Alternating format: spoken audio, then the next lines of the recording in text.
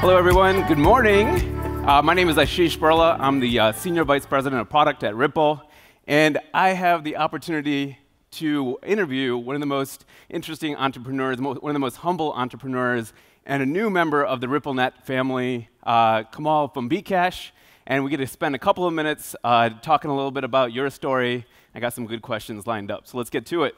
So, you know, Kamal, you're, you're super humble, and so I get to tell some of the stats that uh, are super impressive about bKash 6.7 million transactions per day, 30,000 customer signups per day, and my favorite uh, stat 36 million total customers, 90% of them are newly banked through bKash. I think that is absolutely remarkable. Uh, and so, my first question uh, on that thread.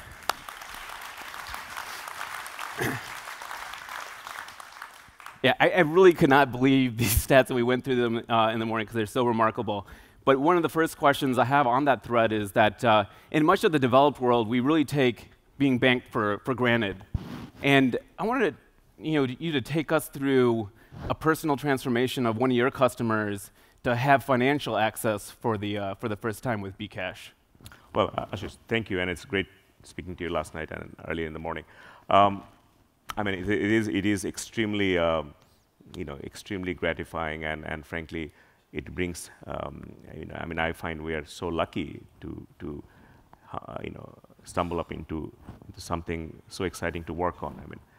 Uh, most people in the world, uh, they wake up in the morning thinking what to do today. So and we do something, we love it, and, and we get paid for doing this thing. So this is superbly exciting. Okay. Um, see, the, the technology is, is, of course, millions of people are getting value out of this thing, and, and, and, and uh, there are endless stories. I mean, I get letters, or my colleagues get letters, people, we get calls in the, in the customer service that it's, it's transforming their lives. Not only the customer, this 225,000 uh, uh, retail agents that we have, uh, they also have incremental income today, and there is a there is a um, um, new source of employment they're also enjoying. Now, um, you know, there, there's a story I want to I want to I want to share. So I I go to I mean I'm wearing a jacket today uh, in your honor. Okay, usually it's it's a, it's a casual place. You look good. Thank you, thank you. So, so we, we go to the retail point, I hang out at the uh, agent point and, and observe what's really going on. And so one time I saw this, um, um, you know, this working class person coming and, and cashing um, $3 worth of Bangladeshi taka.